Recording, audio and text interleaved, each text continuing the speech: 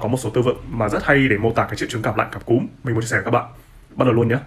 Số 1 khi mà các bạn muốn mô tả các bạn bị cảm lạnh, sẽ có một cái cụm đó là catch a cold. Catch là bắt được, tóm được, cold là lạnh. Catch a cold nghĩa là bị cảm lạnh. Ví dụ, the weather in Hanoi has been so cold lately, so I've caught a cold. Từ số 2 các bạn sẽ có là từ sổ mũi. Khi mà các bạn muốn mô tả ngạt mũi, các bạn sẽ có là a runny nose. A runny nose. Ví dụ A runny nose is a common symptom after you have caught a cold.